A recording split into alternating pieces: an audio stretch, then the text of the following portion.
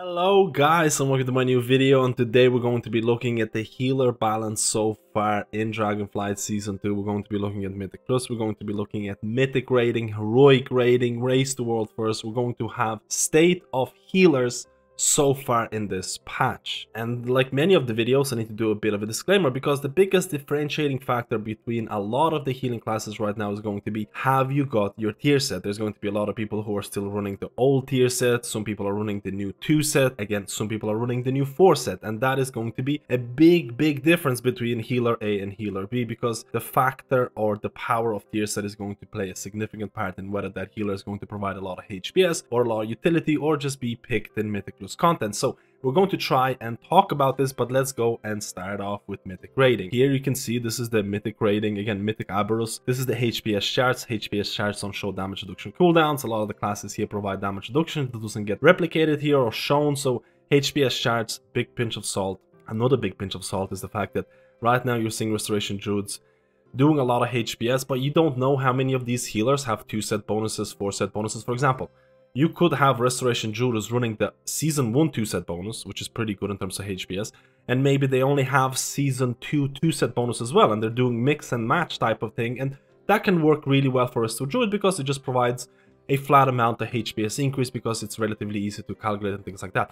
Now, other healers, for example, if you're running old 2-set bonus and, two, new 2-set bonus, they can't really do how do I say, it's not as clear cut. For example, Preservation Evoker, old tier set bonus is all about reversion, and the new two set bonus is all about Spirit Bloom and ramping using Spirit Bloom, which they kind of go against each other. So it's not the best representation. I should wait at least a week or two in order, probably two weeks, and then I could assume that the large amount of sample size here would have four set bonus and you could really say to yourself, hey, these healers are doing this much. This is the pure HPS healer right now, or the king HPS healer, because Restoration Druid is doing really well in terms of pure HPS.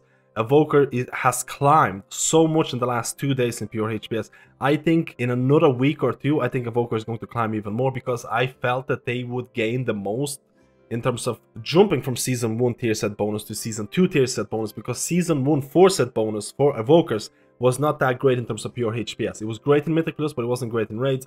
You can see Holy Priest. Holy Priest is probably actually the number one healer right now in raids. We'll talk about Race the World first in terms of meta, in terms of what was really, really popular. Resto Shaman is doing really well. I think they can provide a lot of utility and can provide a lot of HPS. The Kings of Mythic Plus content. We'll talk about Mythic Plus, don't worry about this. Holy Paladin, really, really good, especially because their damage reduction cooldown in terms of Aura Mastery or Devo Aura with Aura Mastery it's not showing up here in the similar way that Discipline Priest Barrier is not being shown up here. And Mistweaver Monks are a little bit down lower in terms of HPS, but again, give it a week or two once every healer gets to pick up their 4 set bonus, because for example, if Mistweaver's right now only using the 2 set bonus, the new 2 set bonus, it basically gives you mana. You need to get that 4 set bonus to really see the true potential of Mistweaver Monk. As an example, I've been able to pick up the 4 set bonus for my Preservation of Evoker, and a lot of people have been asking me why I'm not playing my Resto Shaman. I am, but my guild has asked me to main Preservation of Evoker, and I'm basically doing what the guild asked me. And my experiences with the 4 set for Preservation of Evoker has been really, really good. I've been doing good HPS numbers. The playstyle has completely changed for Evoker if you have the 2 set bonus and then you manage to pick up the 4 set bonus. But the 2 set bonus changes how you approach Mythic rating and even Mythic Plus to some extent because Spirit Bloom provides so much burst healing potential on top of a hot that he applies. It feels very, very different. And now let's move on to Heroic Aberrus charts. And again, this is for people who might be looking to step into Mythic, but they want to see which healer is doing well in Heroic. And there's a big, big difference. You can see here, we're using 75 percentile. 75 percentile, if you're playing your healer above average, you might see numbers like this. They're very different from Mythic. This is the Mythic version in terms of 75 percentile, and this is the Heroic version. Why is that? Because in large raids, in Mythic, you have 20-man groups. In Heroic, you most likely will have something like close to 30 people. The more people you have, the classes that have better healing cooldowns, things like Rewind, which is absolutely insane in large groups. Things like Salvation for Holy Priest, things like Divine Hymn for Holy Priest, they have multiple healing cooldowns that they can use in a large raid group and if you use them properly, again, you're going to see insane HPS values. So if you're someone who's progressing heroic raiding and you don't have a lot of people in your raid group, you're probably not going to parse really well.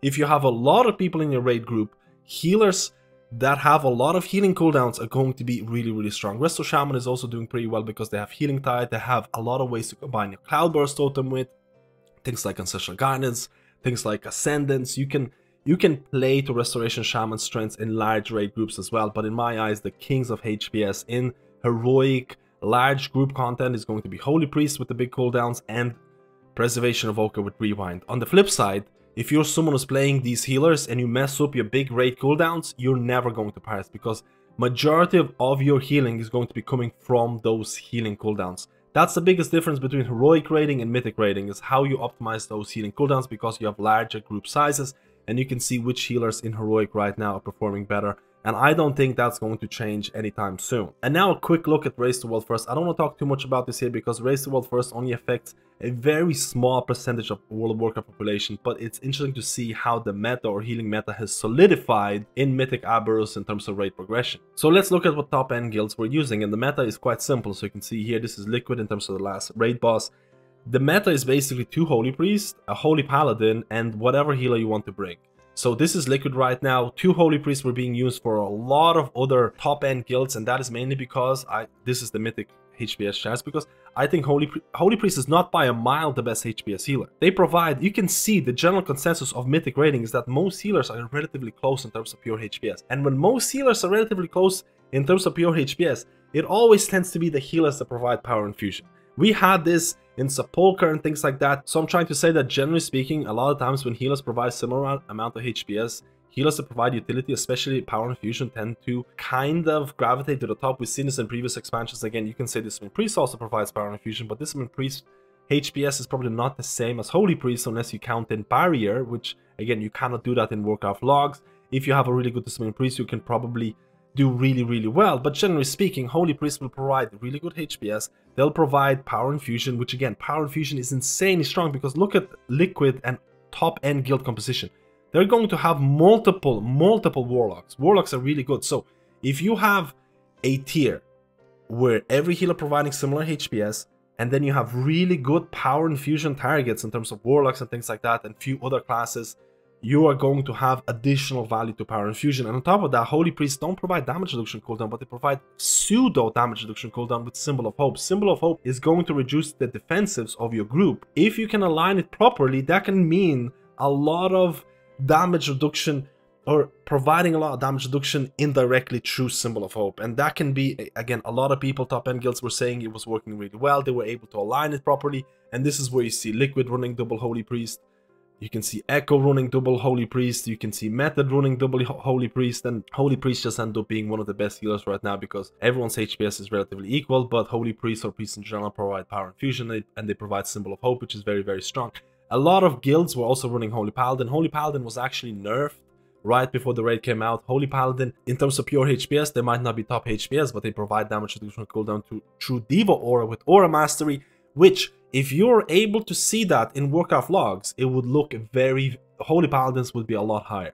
So Holy Paladins, not only they provide good passive damage, they also provide damage reduction, they also provide good healing, and they were, again, they were nerfed before this because I'm sure there would have been a lot of top-end guilds would have ran multiple Holy Paladins if the nerf didn't happen. Again, Holy Paladins were looking really, really good. But you also have to remember, in terms of Vault of Incarnate, there is a big, how do you say, risk factor when you're trying to stack multiple priests because a lot of people didn't know what Sarkareth was going to be like. Is it going to be movement? Because you have to remember, Liquid was actually running multiple priests in Vault of Incarnate and then they came about to Mythic Raszageth and Mythic Raszageth was like, hey, priests, one of the most immobile classes in the game, cannot really bypass phase one without something like Evoker Rescue, without time spiral and things like that. And there is a factor of, how to say, almost gambling when you're trying to stack priests, because maybe Mythic Sarkareth was going to be somewhat similar to that, but it did not end up being like that. And again, the value of Preservation of Evokers ended up falling because I think the value of Preservation of Evokers was relatively tied to the last boss in terms of maybe there's going to be some movement, maybe you need Time Spiral, maybe you need rescues. Again, it didn't turn out like that, and Preservation of Evoker kind of fell down in terms of do you need to have a Preservation of Evoker in your raid? Most likely not this tier. But then when you go to liquid composition, again, you, you saw Restoration Druids, and people might be like, Restoration Druids, top HPS and all that. There is a reason why they brought them.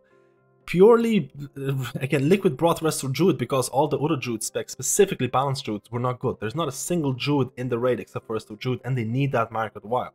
So this was purely like a utility pick. I'm not saying Druids are not doing bad. Druids were actually buffed by Blizzard before the raid came out by a couple of percent in terms of their healing because Blizzard saw that a lot of the guilds might not actually bring Resto Druids. So this is why when people look at pure HPS charts, pure HPS charts don't mean anything in high-end progression because you have to do you have to bring multiple different things. So Liquid did end up going with Restoration Druid because of the Mark of the Wild. In terms of Echo, they did go with Again, we saw Mistweaver Monk, which is interesting because they had multiple monks in the raid already, so that was pretty interesting in terms of bringing Mistweaver. And again, I think Mistweavers are doing pretty well. If you're playing Mistweaver, you're probably the one of the five people that actually play Monk right now, but I think they're really interesting. I think the playstyle has changed up quite a bit in terms of, in terms of talent choices. And Method end up bringing a Restoration Shaman. And again, you're basically bringing double Holy Priest, Holy Paladin, and then whatever healer you want to bring. I think Resto Shaman is more than capable. Again, the general consensus of rating in terms of mythic rating, in terms of heroic rating charts,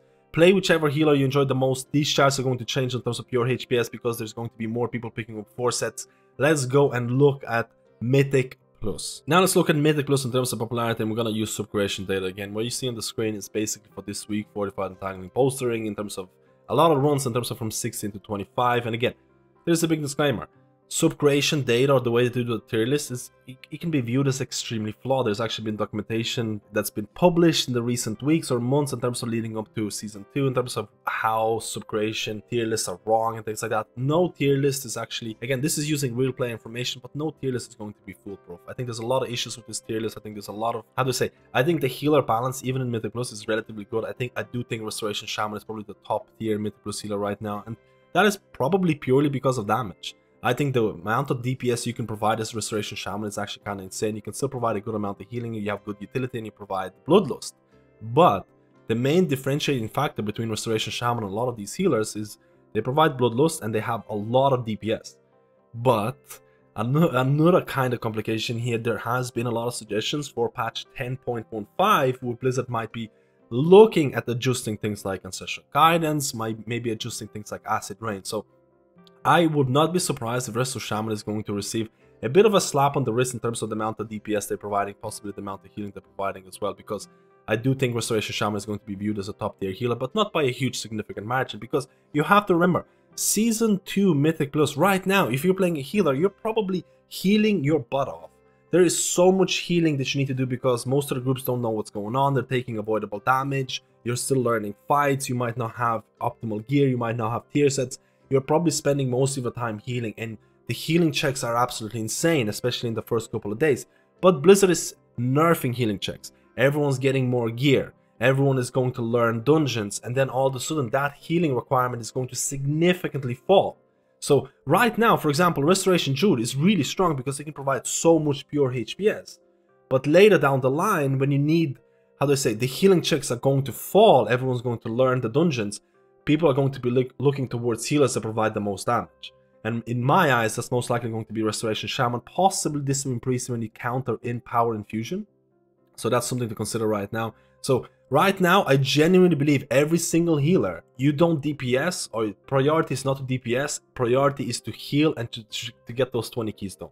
Later down the line, it's going to be all about optimizing DPS. Healers are going to pick up DPS trinkets and things like that. And I genuinely believe that Resto Shaman is probably going to be somewhere there. I think Discipline Priest is going to do really, really well because Power Infusion by itself is going to be really nice. I think Preservation of Evoker, I think the fact that Evoker is losing so much damage, and I am playing Evoker a lot, you're losing so much damage by losing your Season 1 Force bonus by not having your staff anymore. We'll have to wait for the Legendary.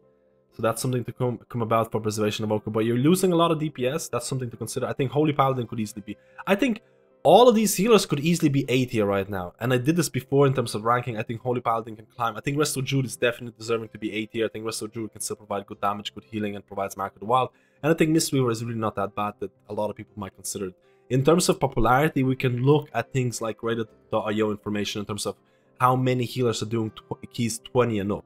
And you can see here Restoration Shaman is very, very popular right now. You see Resto Druid is very popular. You can see Preservation Evokers are still there as well.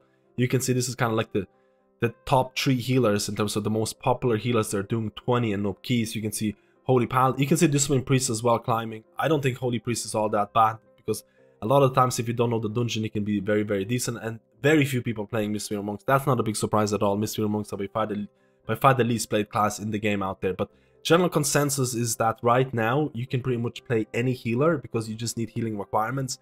And if you just need to do those 20 keys, don't worry. You can do 20 keys with any healer right now. For the people who are looking to push really, really high-end keys, Restoration Shaman is most likely going to be a top healer because purely of the damage they're doing. But Restoration Shaman, in my eyes, would be very lucky to not get nerfed in the next patch or so because Blizzard has already announced certain changes. So I'm expecting Resto Shaman nerfs specifically to their damage in the next, again, patches and things like that. And I think that's gonna bring them down to a more to a more level of other healers because damage is the biggest differentiating factor right now besides bringing Bloodlust. But guys, let me know how you feel about this video. Which healer are you maining right now? Which healer are you having the most fun with? Which dungeon or there's so many healing checks right now. Which dungeon has the best healing check or the or the biggest healing check that you dread doing or you love doing because you love healing? Guys, let me know. Let me know how you feel about healer balance in Mythic Plus, in raids, in Mythic raiding, in Heroic raiding, in Race to World First. Let me know and I'll see you in my next video.